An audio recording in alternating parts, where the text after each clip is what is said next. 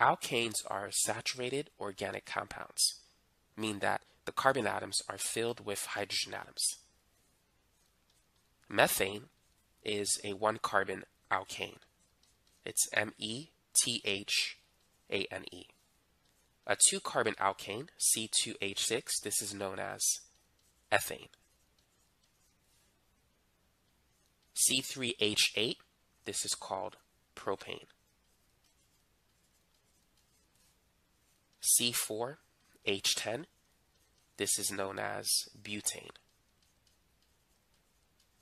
So alkanes generally follow this formula, CnH2n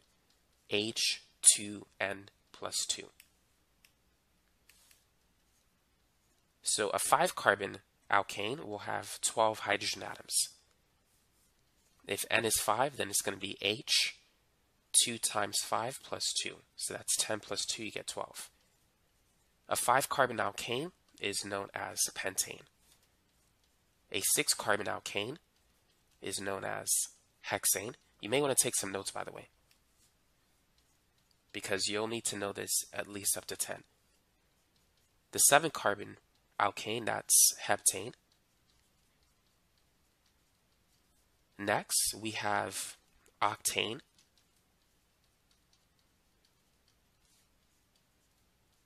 And then after that, this is, that's a 20. This is nonane, or if you want to call it nonane. And then C10H22, that's known as decane. Now let's talk about how to draw the Lewis structure of C2H6. C2H6, we know that's ethane, and you can write the condensed structure like this. It's CH3, CH3. So this tells you how many hydrogen atoms are on each carbon. First carbon has three hydrogen atoms, and that's attached to the second carbon, which also has three hydrogen atoms. So that's how you can draw the Lewis structure of ethane. Now what about C2H4? How would you draw the Lewis structure for that?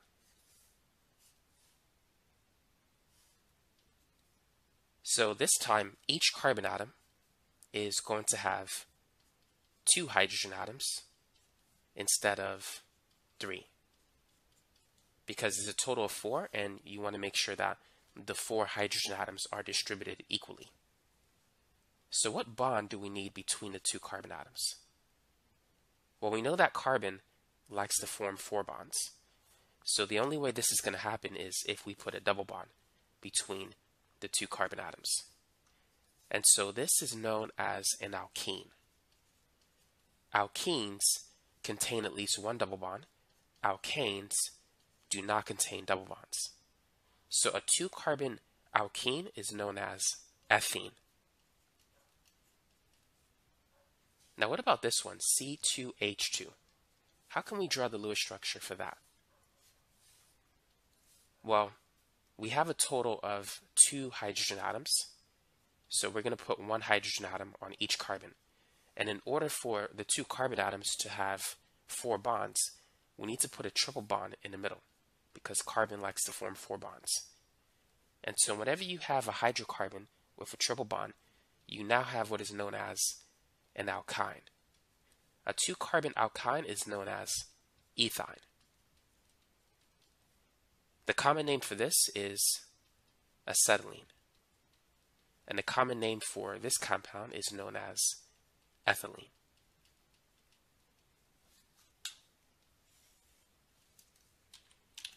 Alkenes and alkynes are known as unsaturated compounds because they don't contain the maximum number of hydrogen atoms per carbon atom. Alkanes are known as saturated compounds. So make sure you keep this in mind. Now let's focus on the carbon-carbon bonds. What would you say, which of these bonds is the longest bond? The carbon-carbon single bond the double bond or the carbon-carbon triple bond. Which one is the longest and which one is the shortest? You need to know that the carbon-carbon single bond is longer than the carbon-carbon double bond, and that's longer than the carbon-carbon triple bond. The length of the carbon-carbon single bond is 154 picometers, which is 1.54 angstroms. One angstrom is 100 picometers. The CC double bond is 133 picometers in ethene, and in ethyne, I mean ethyne, it's uh, 120. So what you need to understand are is that triple bonds are short bonds, whereas single bonds are long bonds. Because sometimes you may get a test question that asks you something about bond length. Which of these bonds is the shortest, or which of these bonds is the longest? So single bonds are longer than triple bonds. Keep that in mind. So now that we've talked about bond length, let's talk about bond strength. Which bond is the strongest? The single bond, the double bond, or the triple bond? What would you say? The single bond is the weakest. The triple bond is the strongest. Why is that? Well, it's easier to break one bond instead of three bonds. Imagine trying to break a pencil. It's easier breaking one pencil than trying to break three pencils at a time. Three bonds are stronger than one. Now let's talk about sigma and pi bonds. A single bond contains one sigma bond. All single bonds are sigma bonds. A double bond contains one sigma and one pi bond. The triple bond contains one sigma and two pi bonds. Now, which bond is stronger, a sigma bond or a pi bond? You need to know that sigma bonds are stronger than pi bonds. So it's harder to break this bond versus just one of the pi bonds in the triple bond. Not all three bonds, but one of the pi bonds. So, in summary, a triple bond is stronger than a single bond because you're comparing three bonds to one. However, a sigma bond is stronger than a pi bond when you're comparing one bond with one bond. So I'm just going to say that one more time. Sigma bonds are stronger than pi bonds, but triple bonds are stronger than single bonds. Now, the next thing we're going to talk about is bond order.